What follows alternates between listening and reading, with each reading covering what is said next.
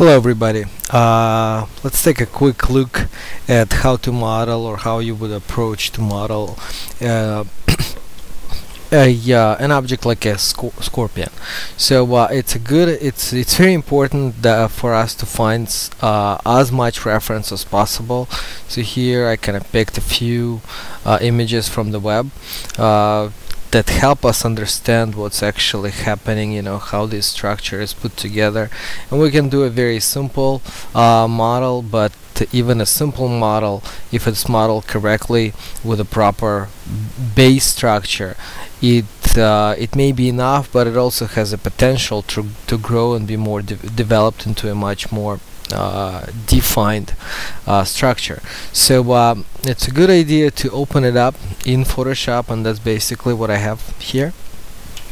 And uh, basically start playing with uh, and roughing in some of the subdivisions how are we actually going to be uh, modeling in Maya. So um, let's go ahead and just quickly I mean this is pretty much straightforward uh, those are straightforward sections and we can really figure out how many of them we've got here. But uh, let's see here we've got a shape like that. So essentially we've got this structure. And uh, we're not gonna get too much into details like doing the eyes and everything uh, but just a rough idea and I'm just gonna do one side. Here we might even want to put some um, center of symmetry. This is what we have right now.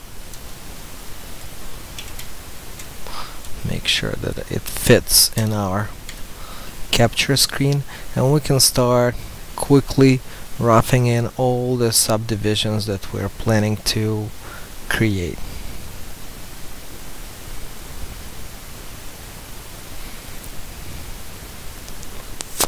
and this seems to be where the head starts. Let's zoom in a little bit more. So I mean we could even put a little bit more detail into that section and have our edges follow the contour here. A little closer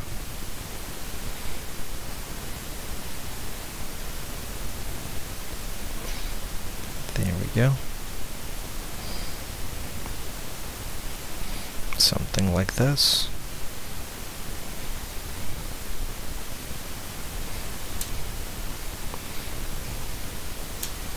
And we can lead those lines right all the way in here. And even loop them around.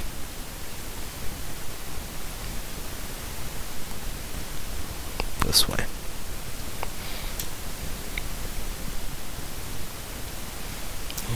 Go. Can definitely put a little bit more subdivisions. That way seems like we've got most of the details in. And uh, luckily here we actually have a um, and you know we can this is the beauty of uh, doing a sketch first before before actually modeling because in some cases we might actually like to change our edge structure maybe actually leading this edge all the way into the back while only turning these two edges inwards.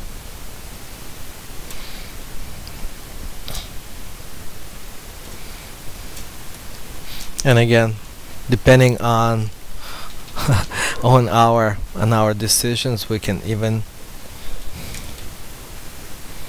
substitute this edge here and actually continue on with an additional edge along the side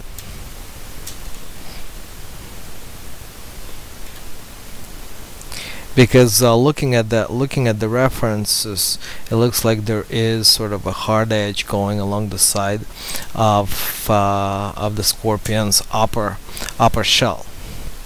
Okay? And uh, I think that's plenty for now and uh, what we can do at this point we can actually take a copy and see how actually this wireframe would work with our belly and make sure that we uh, are extruding and creating the legs from the right position. So uh, let me make a let me make a copy here. And let's go ahead and rotate it I mean it's good if we do have a reference like this. It makes it very easy to uh, play with this. Otherwise we need to do our sketches. Oop. Let me make sure that I actually cut it.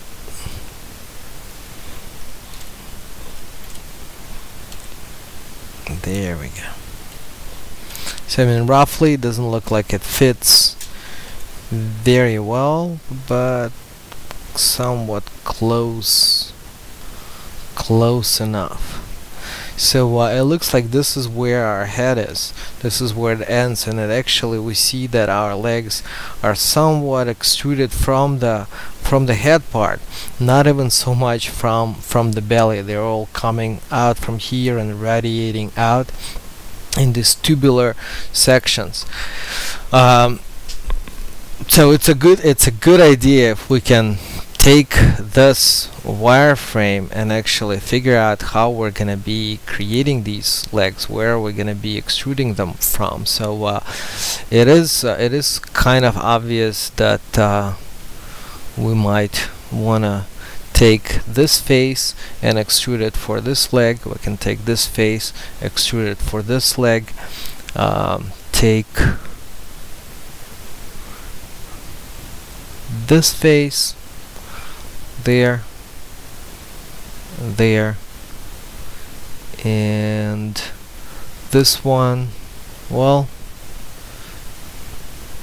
otherwise we're gonna have to make some other decisions if we if we want to get very very creative here and uh,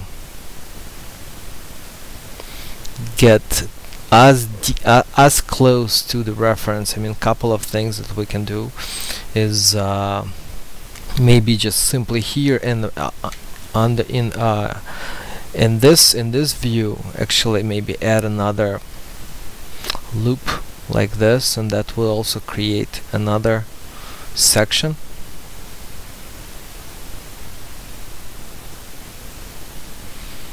There we go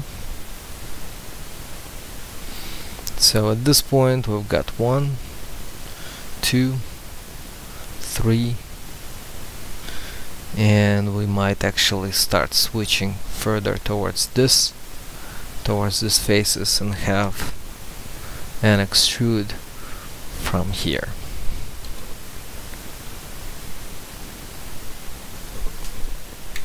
Or here. So one two three four and 5 I think that could work pretty pretty fine. And if we do want to get more details actually have this thing modeled we do have an area that we could take and extrude. Uh, so with this with this idea uh, either next to our Maya screen or we can actually take this and uh, import it as an image plane into into straight into Maya and uh, model from that. We've got a much better uh, much better understanding of how we are gonna be modeling and it's probably also a good idea to uh, get in here and do a basic sketch of these um, um, what are they called? Luckily I've got these now dorsals. Anyway uh, these shapes. So we can maybe first do an outline of what we see.